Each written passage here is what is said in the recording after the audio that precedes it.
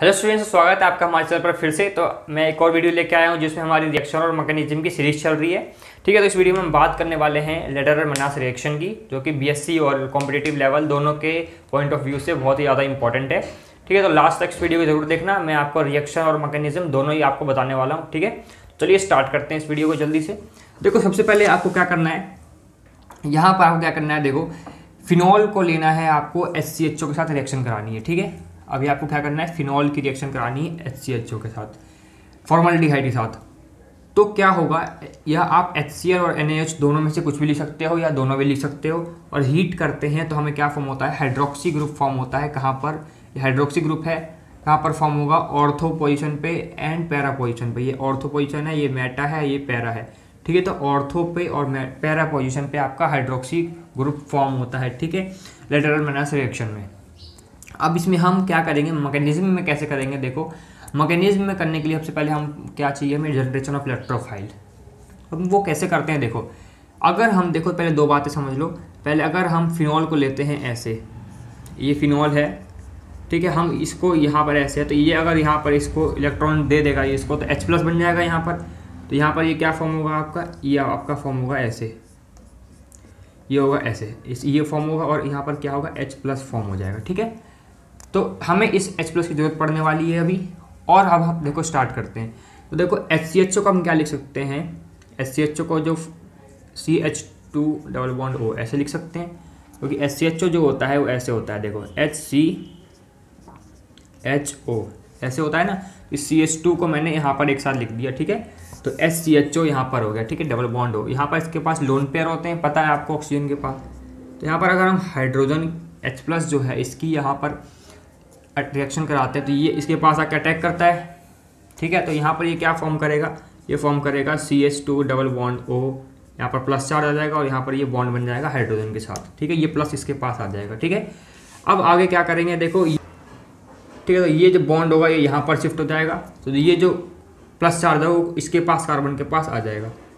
ठीक है तो C H two O H ऐसे बन जाएगा। ठीक है तो यहाँ पर ये जो है, ये प्लस चार्ज जिसके पास आ गया तो ये क्या बन गया आपका? एक इलेक्ट्रोफाइल इलेक्ट्रोफाइल जनरेट हो गया।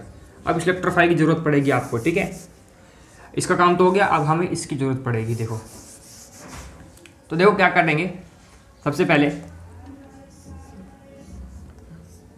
अब क्या करेंगे हम? अब होगा attack of electrophile second step में क्या होगा? अटैक जनरेशन किया हमने अटैक ऑफ़ इलेक्ट्रोफाइल। इसका अटैक करेंगे हम इसके ऊपर।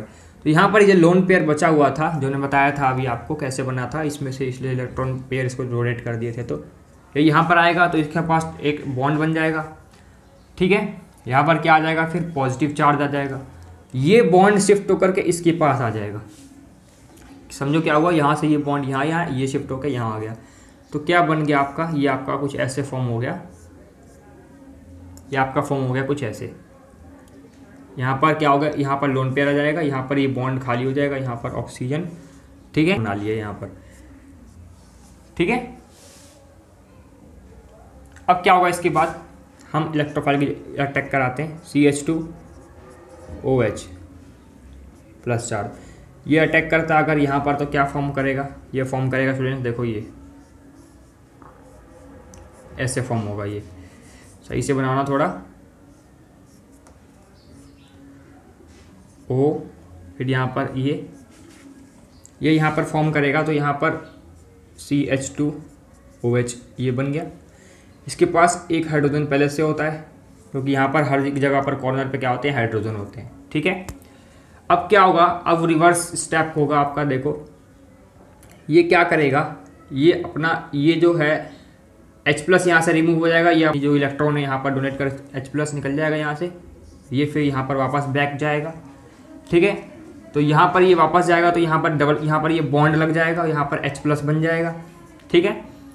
तो क्या होगा अब इसके नेक्स्ट स्टेप में स्टूडेंट्स यहाँ पर यहाँ पर देखो ऐसे होगा। यहाँ से क्या हो गया? अब ये इधर आ गया तो इसके पास नेगेटिव चार्ज हो गया ऐसे, दोबारा से। ठीक है लोन पेयर हो गया दोबारा से। यहाँ से इसके पास आ गया तो इसके पास एच प्लस बच गया, यहाँ पर एच प्लस बन गया। क्योंकि तो इसने ये दे दिया बॉन्ड तो यहाँ पर बॉन्ड यहाँ लग गया। ये पहले से ही था ऐसे। यहाँ पर C H two O H तो यहाँ पर लगा हुआ है ही। ठीक है, अभी एच प्लस के पास कोई बॉन्ड नहीं है। अब ये क्या करेगा, इसके पास आकर के अटैच हो जाएगा। अब सॉरी यहाँ पर ये सिंगल बॉन्ड आएगा। ठीक है, ये सिंगल बॉन्ड आएगा यहाँ पर, क्योंकि ये यहाँ पर जा चुका है तो यहाँ पर सिंगल बॉन्ड आएगा। अब लास्ट स्टेप में क्या करेंगे यहाँ पर हम? ये इसके पास आ जाएगा। तो क्या होगा स्टूडेंट्स क्या फॉर्म होगा आपका ये? यहाँ पर ओ OH हो जाएगा दोबारा से। C S two O H ठीक है?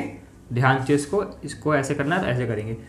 दोबारा समझ लो, हमने क्या किया? जनरेशन ऑफ़ इलेक्ट्रोफाइल किया तो हमने यहाँ पर ई एस प्लस यहाँ पर अटैक किया तो यहाँ पर पॉजिटिव चार्ज यहाँ आ गया ओ OH बन गया, ठीक है? यहाँ पर बॉन्ड इधर शिफ्ट होगा।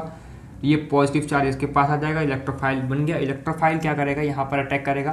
तो ये ये जो है, इसके ऊपर जो लोन पेयर है, ये लोन पेयर यहाँ पर आएँगे, क्योंकि हमने इन दोनों को अलग अलग कर लिया था। पहली मैंने बता दिया था आपको।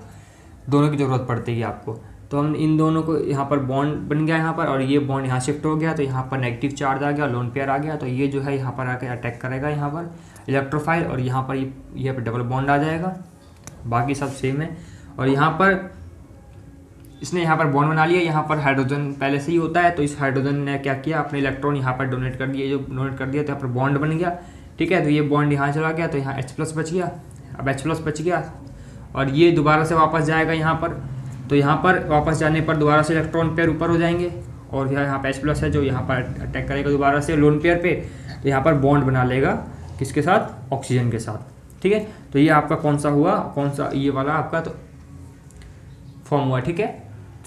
तो यहाँ पर स्टूडेंट्स आप अगर रिएक्शन आती है तो अगर मैकेनिज्म पूछता है आपसे तो ज़रूरी नहीं आपको दोनों ही मैकेनिज्म करके दिखानी है। एक मैकेनिज्म कर दोगे कोई सी भी तो वो आसानी से आपका सही माना जाएगा। ठीक है? ज़रूरी नहीं दोनों करके दिखाओ। ठीक है?